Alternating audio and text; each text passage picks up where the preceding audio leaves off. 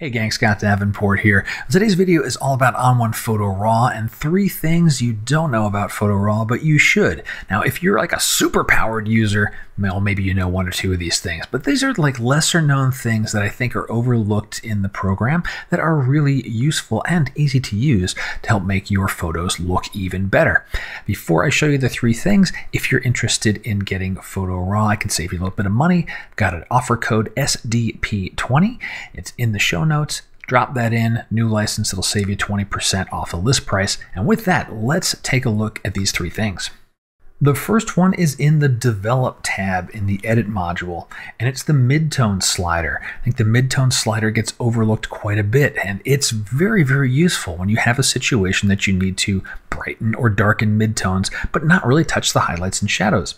And in this scene, I've already brought the exposure up, I've reined in the highlights in the sky a little bit, and you know, next I would be starting to work with shadows. And as I bring the shadows up, it's getting a little bit flat, especially in the area of this lifeguard tower. The under part of it, I'm losing some of the deep, rich shadows, and even here in the uh, the rocks and the surf. So a little bit of shadow is okay, increasing.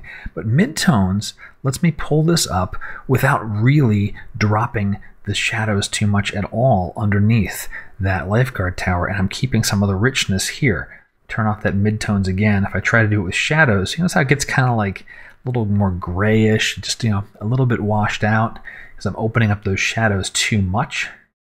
With midtones, I'm keeping that richness, especially underneath this lifeguard tower and those very deep shadows. So tip number one, the midtone slider in the develop module.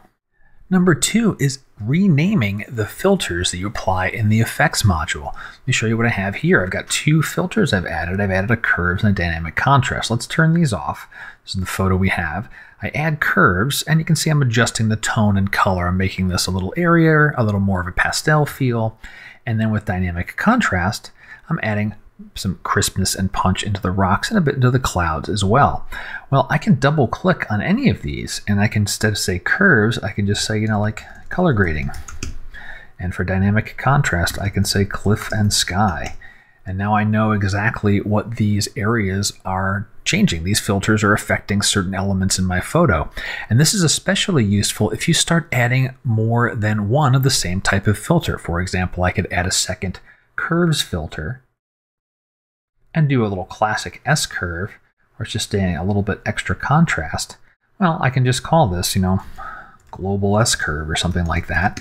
And I know what I have there. And I don't have three, four, five curves adjustments. I have them named specifically for what they're doing. I use this a lot with color adjustments if I'm working with a scene where I have reds, greens, uh, you know, different tones of blues, whatever it might be, and name them as, you know, tree line or water or so forth to you know, tell me what I'm looking at when I go back and look at these settings later.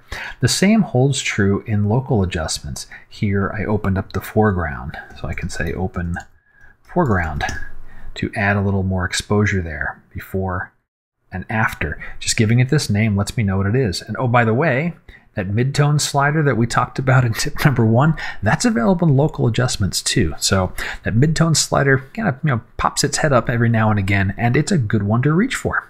The third thing that you should know about Photo Raw is with the perfect brush and specifically the gear menu to control how sensitive the perfect brush is. If you don't know what the perfect brush is, it's the edge detection built into the masking tool. So when we're applying effects or we're working on masks, we can turn on edge detection to get a really nice crisp mask and that's turned on right here. But next to it is this gear menu, and I want to hover over this color threshold for just a moment. So you can see it controls the sensitivity to color. The way the Perfect Brush works is it looks at the color tones you're hovering over and then makes sure to match things as you're brushing in or out. So it narrows it to the specific color tones you're working with. And as objects change, the color tones change.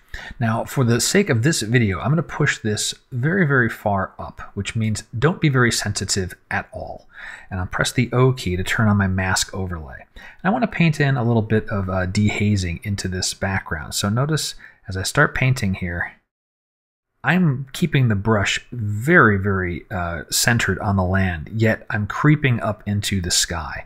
Well, we can see that the tones are pretty similar, and when I tell the brush be very generous with matching tones like I did up here in this gear menu, it's going to do a less precise job. If I lower this down, the default is somewhere in the neighborhood of 4 or 5.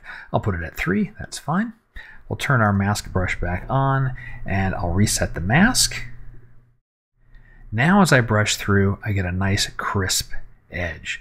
And so if you are noticing and you're working with an area that has very similar color tones, go into the gear menu, lower that color threshold, and you'll get a much more precise edge.